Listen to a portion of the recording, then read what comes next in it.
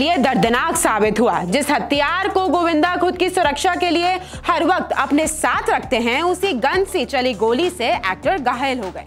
हालाँकि अब गोविंदा खतरे से बाहर हैं, उनके पैर से गोली निकाल दी गई है। वैसे गोविंदा के अलावा बॉलीवुड में कई स्टार्स हैं जो अपनी सुरक्षा के लिए अपने साथ लाइसेंसी हथियार रखते हैं। कौन कौन है इस लिस्ट में शामिल? देखिए हमारी इस रिपोर्ट में। अपनी गन से घायल हुए गोविंदा के साथ हुए हादसे ने हर किसी को चौंका दिया है। वैसे गोविंदा के लिए बॉलीवुड में कई स्टार्स हैं जो अपने साथ लाइसेंसी हथियार रखते हैं और इस लिस्ट में टॉप पर आता है बॉलीवुड के दबंग सलमान खान का नाम। बॉलीवुड के दबंग सलमान खान की सुरक्षा पर कई बार ग्रहण लग चुका है। यूँ तो सलमान बरसों से गैंगस्टर लॉरेंस बिश्नोई के गैंग के निशाने पर है, लेकिन बीते साल से सलमान को कई बार जान से मारने की धमकी मिल चुकी है। बीते साल जब सलमान के पिता सलीम खान को धमकी भरा लेटर मिला था, तब एक्टर ने अपनी सुरक्षा के लिए मुंबई पुलिस से हथियार रखने के लिए लाइसेंस मांगा था, जो कि मुंबई पुलिस ने एक्टर को तुरंत उपलब्ध करवाया था। सलमान को वाई प्लस सिक्योरिटी मिली हुई है। साथ ही सलमान अपने पर्सनल बॉडीगार्ड भी साथ लेकर चलते हैं।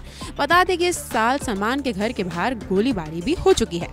सनी देओल फ़िल्मों में अपने ढाई किलो के हाथ का दम दिखाने वाले एक्टर सनी देओल पंजाब के गुरदासपुर सीट से लोकसभा सांसद रह चुके हैं।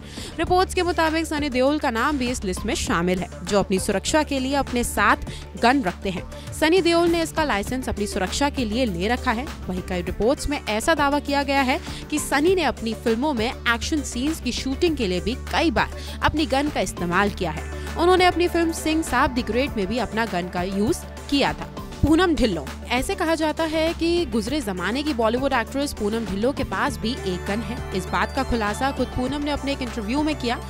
पूनम ने बताया था कि उन्होंने अपनी सुरक्षा के लिए रिवॉल्वर का लाइसेंस लिया हुआ है, जिसे वो हर वक्त अपने घर में रखती है। पूनम के मुताबिक उनके लिए उनकी सुरक्षा से परे कुछ नहीं है। अमिताभ बच्चन। सदी के महानायक अमिताभ बच्चन का नाम भी इस लिस्ट में शुमार है।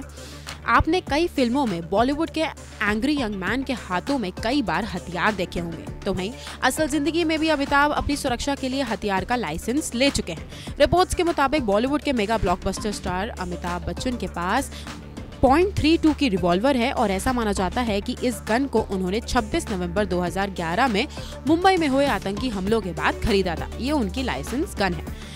रवि किशन फ़िल्मों के साथ साथ राजनीति में भी पहचान बनाने वाले रवि किशन ने लाइसेंस वाली दो बंदूक अपने पास रखी है। इनमें से एक राइफल और एक रिवॉल्वर है।